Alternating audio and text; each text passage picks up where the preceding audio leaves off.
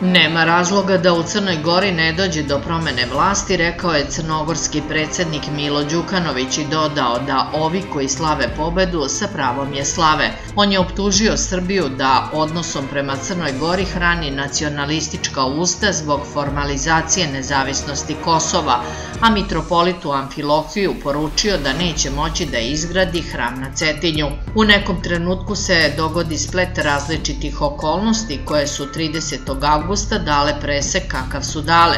Pobeđivali smo u kontinuitetu, te pobede nikada nisu bile tako triumfalne da bi dovodile u pitanje demokratski karakter crnogorskog društva. Sadašnja promena vlasti nije učinila nedostojanstvenom poziciju proevropske politike u Crnoj Gori. Mi smo u budućem parlamentu zastupljeni sa jednim poslanikom manje u odnosu na većinu. To se blago pomerilo i ne vidimo u tome ništa dramatično i na neki kapitalan zaključak, kazao je Đukanović gostujući na Face TV, a prenose vijesti. Dodao je da se dogodila promena vlasti koja potvrđuje demokratski kapacitet Crne Gore. Imamo razloga da budemo ponosni na sve ono što smo uradili kao vlast, ali i na ono što u ovih 15 dana od promene političke realnosti u Crnoj Gori pokazujemo. Ovi koji slave pobedu sa pravom slave pobedu pobedili su, imali su priliku da u prethodnih 30 godina kažu izgubili smo, nisu to uradili. Ovo će valjda biti prvi izbori koji su regularni jer mi nismo pobedili. Priznali smo rezultat i nije nam padalo na pamet da se služimo nekim naknadnim postizbornim inženjeringom. Ne mislim da je to pravilno čitanje demokratije i pravilno čitanje volje građana, kazao je Đukanović. On je dodao da ne videti da se na neki način restaurira nacionalistička politika početkom 90. znači političko slepilo.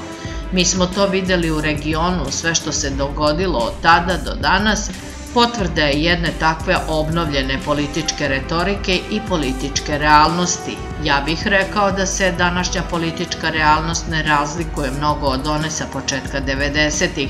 Podsjetit ću vas, tada sam kazao i tada se krenulo sa idejom da se štite interesi ugroženog srpskog naroda u drugim državama, Zaštita naravno ugroženog srpskog naroda u Crnoj Gori je podrazumevala rušenje suvereniteta crnogorske države, dakle i besprizorno mešanje u unutrašnji politički život. Kada su u pitanju posledice po Crnu Goru, bio sam veoma jasan u odgovoru na prethodno pitanje. Mi mislimo da smo postavili dobar demokratski i evropski temelj Crnoj Gori. Mi mislimo da Crna Gora može da izdrži taj udar, a mi ćemo je naravno i dalje biti stamena odbrana, sada iz pozicije najjače opozicione stranke u Crnogorskom parlamentu. Mislim da mi to možemo da izdržimo ako je reč o vlasti, poštujemo demokratska pravila, Vlast se bira na slobodnim izborima, a građani su slobodnom voljom želeli ovakvu vlast i imaju je, rekao je Đukanović.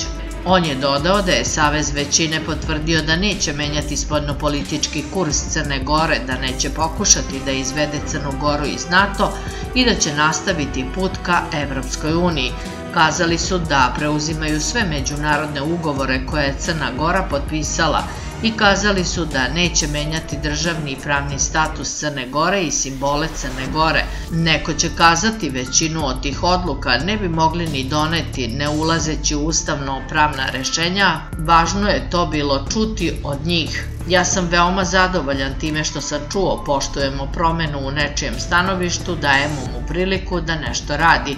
Iz opozicije ćemo vrlo tvrdo zastupati intenzivniji hod ka evropskom sistemu vrednosti. Đukanović je ponovio da će braniti Crnu Goru i šume ako treba, pa naravno branit ćemo je svim sredstvima kao što sam rekao i šume i nećemo se valjda kao što znate tu razlikovati u odnosu na generacije naših predaka, Pa, kako mislite da se Crna Gora odbranila kroz prethodne vekove? Otkud Crnoj Gori deset vekova državnosti? Tako što nije branjena u parlamentu, nego je branjena oružjem, branjena je u šumi. Prema tome, ako neko misli da može da nam oduzme naš krov nad glavom, radit ćemo ono što biste i vi radili kako bi neko došao da vam mimo vaše volje ruši vaš krov nad glavom, to je logično.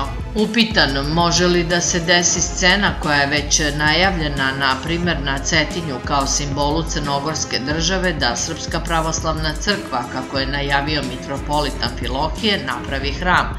To se ne može dogoditi, to može biti njegova namera koja se na Cetinju ne može dogoditi. Naravno, ako krene i postavi kamen, bit će mu taj kamen srušen a on to zna i zato neće krenuti. Naravno, to on najavljuje od kako je došao 89. godine, da će da ruši mauzolej, a da postavi i vrati gore crkvu Karadžorđevića. Nema šanse za to. Naravno, zaustavit će ga oni koji treba da ga zaustave i koji su mu to već kazali, To su mu kazali građani Cetinja da verovatno preko njih živi to neće moći da urade. To je priča koja se tu završava.